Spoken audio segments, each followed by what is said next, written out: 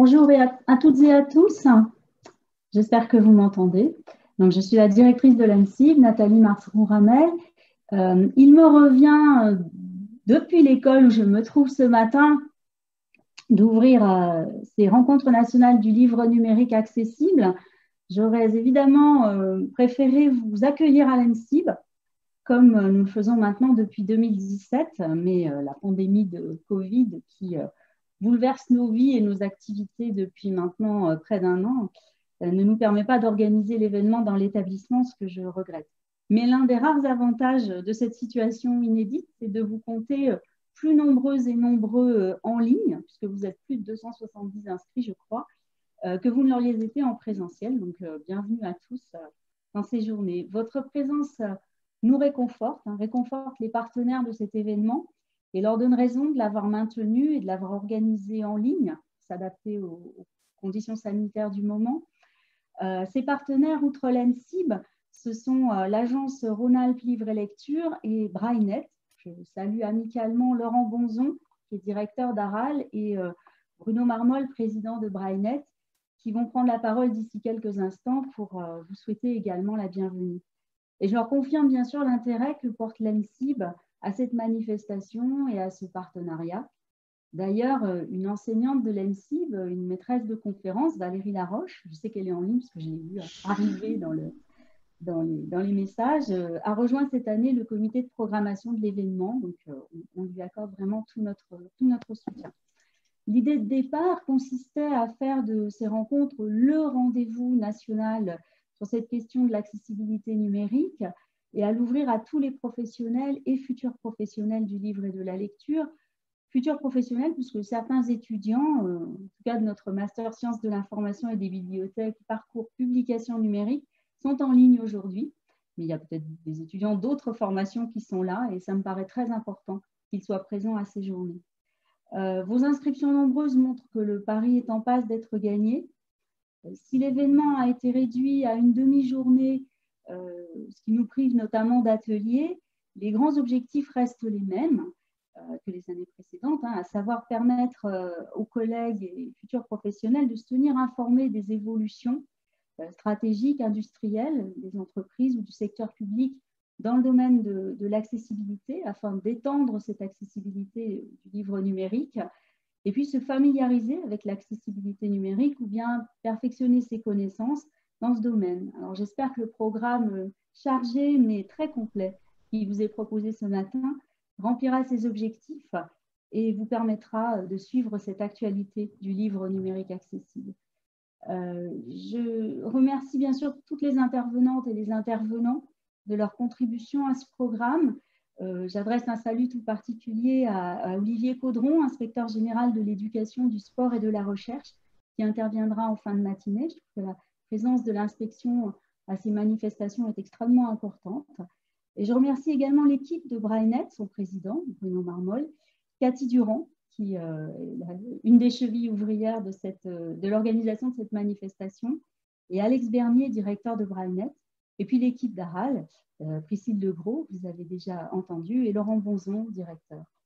je remercie aussi en interne à l'ENSI ma collègue Julia Morino-Eboli, qui s'implique fortement dans l'organisation de cette manifestation euh, du point de vue de l'école et plus généralement dans la programmation événementielle de l'ANSIB.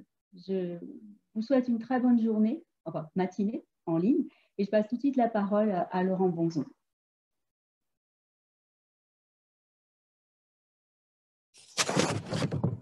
Oui, merci Nathalie. Euh, bonjour, euh, bonjour à tous. Donc, je suis Laurent Bonzon, le, le directeur de l'agence Auvergne-Rhône-Alpes Livre et Lecture donc, ça fait effectivement, comme le disait Nathalie, depuis 2017, depuis quatre ans, que l'agence aussi est engagée aux côtés de l'NCB de Brainet euh, pour cet événement qui, pour nous aussi, marque un peu bizarrement cette année, mais marque aussi le début de notre programme annuel euh, d'événements interprofessionnels.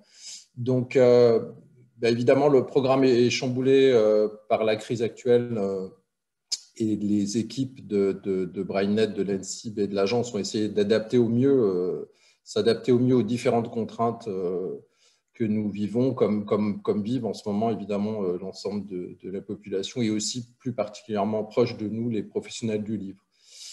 Voilà, c'est pour ça que je suis heureux malgré tout et envers et contre tout de vous accueillir, hein, si je puis dire, cette année euh, ici en visio euh, avec euh, nos, partenaires de l'ENSIB et de Brainet et aussi heureux de vous savoir aussi nombreux au rendez-vous. C'est aussi effectivement le charme de ces événements à distance, de voir l'ensemble des, des de, vos, de, vos, de vos lieux de, de, résidence et de travail et qu'effectivement, on est beaucoup plus nombreux qu'une l'année dernière où on était une centaine de personnes, je crois, à l'ENSIB euh, pour ces rencontres. Donc, c'est un réel plaisir de, vous savoir ici.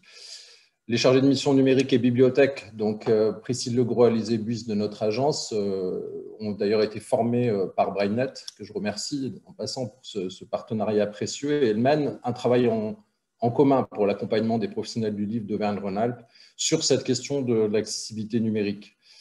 Euh, cette année, on va d'ailleurs mettre en place pour plusieurs bibliothèques départementales des, ateliers euh, pour poursuivre ce travail de, conseil et d'accompagnement.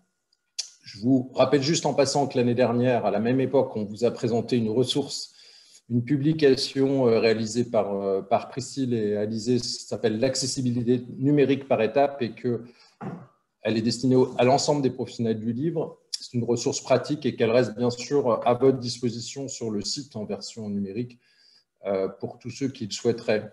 Euh, elle n'a pas vieilli depuis l'année dernière, donc ça vaut la peine d'y jeter un œil. Euh, voilà, la période incertaine que nous traversons, évidemment, conduit pas mal de professionnels, y compris dans le livre, à, innover, à se réinventer, notamment à travers les outils numériques.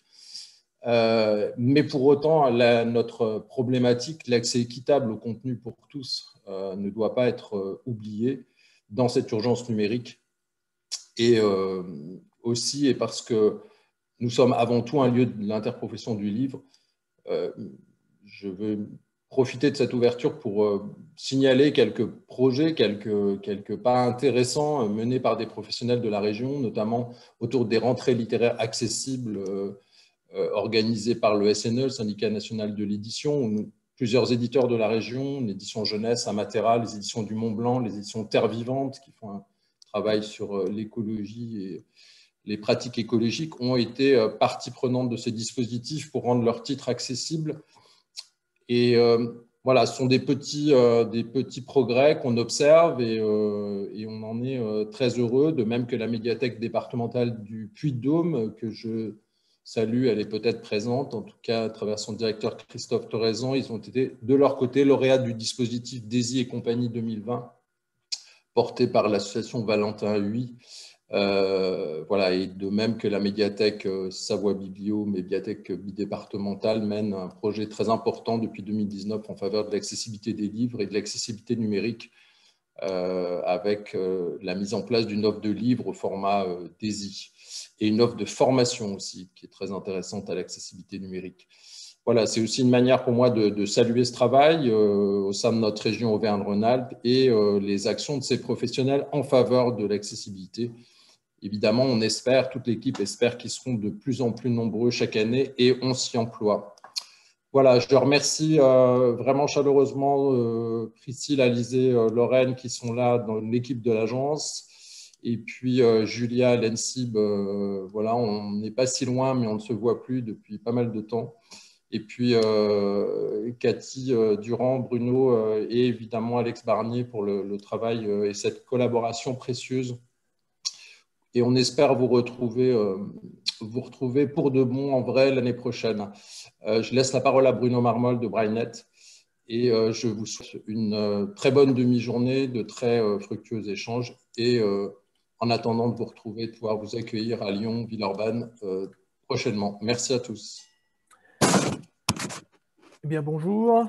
Donc, euh, bah, comme, comme, tout le monde, bienvenue à, toutes, euh, à tous et à toutes à ces rencontres. Hein, et merci d'être là, malgré les conditions un peu inhabituelles. Mais euh, j'en profite pour dire bravo pour euh, l'adaptation virtuelle de, ces rencontres, parce que c'est bah, beaucoup de travail et il faut, penser à plein de choses quand on n'est pas habitué à préparer des, rencontres virtuelles comme ça.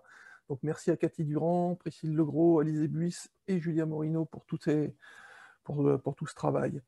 Je remercie évidemment l'agence Rhône-Alpes Livre et Lecture et son président Laurent Bozon pour nous aider à organiser cette journée l'ENSIB et sa directrice Nathalie euh, Marceau-Ramel, qui cette année ne nous accueille pas, donc est pour cause, comme elle l'a signalé, mais qui maintenant participe au comité de programme et nous accompagne durant ces rencontres.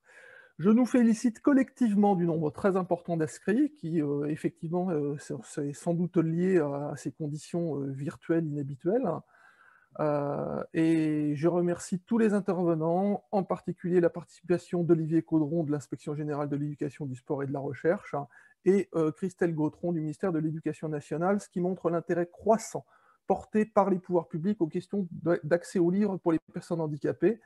Et bien évidemment, bah, j'espère et nous espérons tous que cet intérêt se traduise ensuite en actes par un soutien, notamment financier, à la production de livres adaptés, qui est une mesure euh, attendue de longue date euh, par les associations de personnes handicapées et productrices de, livres.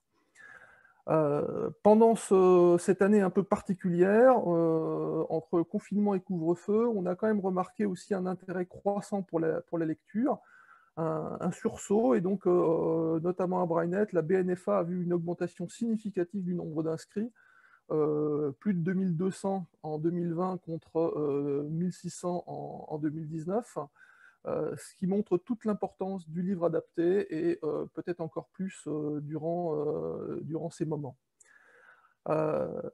Pour, les rencontres, je précise euh, également qu'il y a un hashtag euh, Twitter euh, donc pour relayer, suivre l'information, qui est hashtag RNLNA. Et puis, eh bien, comme Laurent, bah, nous espérons que l'année prochaine, on, se retrouvera en présentiel dans les locaux de l'ENSIB pour échanger sur, sur l'année qui s'est écoulée. Et je vous souhaite à tous une très bonne journée.